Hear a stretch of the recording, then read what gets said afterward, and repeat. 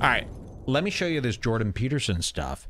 You're not going to believe what's happening with him. You become a better person. Here, we'll show you this you're- you intro. start to be Okay, here we go. Better person. about it? Should it be our life goal? And if not, what should we be seeking? Well, it shouldn't be our life goal. Um, because there are times in your life when you're not going to be happy. Okay, they've got Jordan Peterson. I would say if people are suspicious of Jordan Peterson, maybe he shouldn't be wearing a pinstriped suit with a vest underneath. I mean, come on. Doesn't this look a little evil? I mean, why would somebody be like, hey, you know what you should wear? A maroon pinstripe suit with a vest and an evil tie underneath. That'll get your message across. So he's on Dr. Oz. He's talking, he's being calm. And three minutes into this thing, he starts to well up with tears. Three minutes in, and all he's doing is telling the same story he's been telling since that first Joe Rogan appearance. Nothing new here. 324. Watch this. Here, we'll start it back up. Watch this. relied upon in a crisis. There's there's a there's an aim. You know, one of the things I've told I'm in audience- Richmond, Virginia. Young guys Yeah, to this a yeah, we've said, seen it. You should be Here, watch this. the strongest person at your father's funeral, right? Well, that's something to aim for. It- It's a transition, a generational transition, and it means that, well, all the people around you are suffering because of their loss. What? They have someone to turn to who can illustrate by their behavior that the force of character is sufficient You know, to and, and- move you gotta see it's it's tough because you gotta watch the whole thing. It's not like there was no one else was getting emotional here. This is almost like Daddy's medication is a little cockeyed. He's crying about everything. You know that when somebody's uh, coming down off something, their medication screwed up, they start just getting emotional about anything. He was doing this the whole interview here. Okay, this is, is starting to look like nobody in the audience. One in the audience was like, you know, dry eye. They needed clear eyes. Their eyes are so dry. They all got uh, itchy dry eye in the audience. Here, you beyond the catastrophe. is this guy related to Meat Queen? Xander says, yes, it's dad. Can you believe? I feel like I know the Petersons like they're a family I grew up with almost. They're from Alberta. Yeah, wow, Alberta beef. Um, yeah, because we we know the Meat Queen so well. Then Jordan Peterson, we barely know the wife. Well, it's hard to know his spirit, but uh, it does feel like we. I, I feel like I'm personally involved with this family somehow. And it- you need that. And that's a great thing to that's a great thing to Look at him. hypothesize as your aim. And happiness just AOL Instant evaporates Messenger? As, as irrelevant in light of that You're sort irrelevant. of conceptualization. So when you are the strongest person Hold on, at your there's father's more. funeral, and I just buried my father Yeah. last month. Yeah. Oh, you buried your father. That's cool. So cool.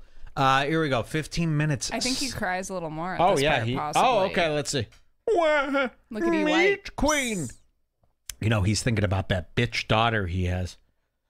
So I, it strikes home that when you say that, should there be joy around that realization? Oh, should there be joy around that real? Oh, how funny! Look at that. Happiness, happiness like the fizzly bubbles in a in a, in a carbonated beverage, flighty, flighty. They tickle your tongue, but they go away.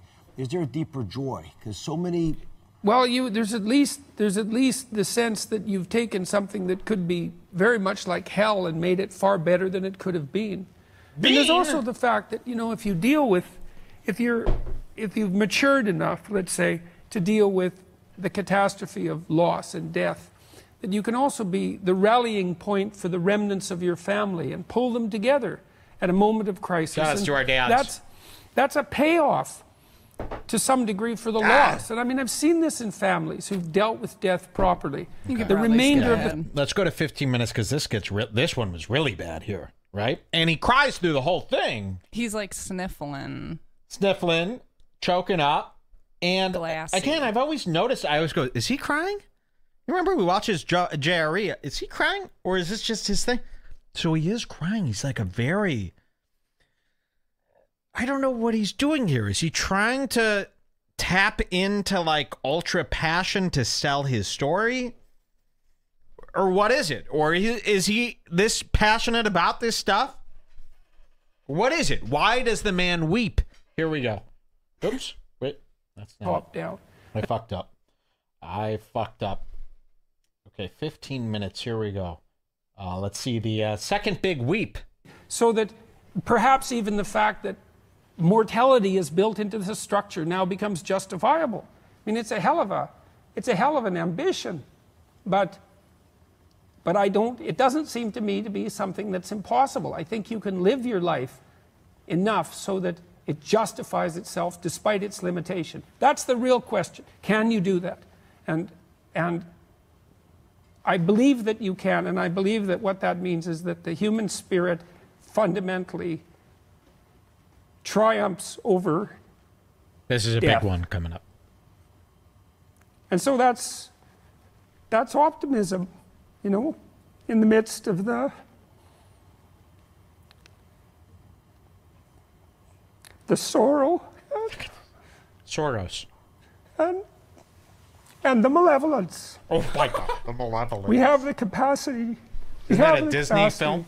Sorry. Don't be sorry. We have the capacity to transcend that. And there is isn't crazy. anything more optimistic than that.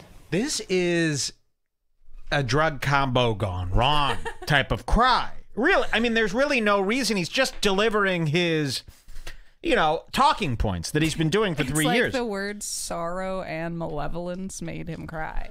There's no reason for him to be having a breakdown unless he's chemically cockeyed here. Let's see, there's a little bit more. Yeah, people are going nuts here, going, oh my God, I didn't think. Yeah, this is what's happening. And, and there's nothing, there's nothing in it that Carnivore tears. Yeah, I like that. good. Right? It's good for you. It's good for the people you love. It's good for the broader society. It's like it's good. And that'll take you through your times of travail. There isn't anything else that will. And then maybe on your deathbed you can think, Uh oh. I justified my privilege, the terrible privilege of my existence. Oh my God. And maybe that's good enough. Has Owen Benjamin Possible seen that this? that's good enough. You, you certainly don't have you certainly don't have anything better to do than that, as far as I can tell. Bullshit. We all got to find our burden.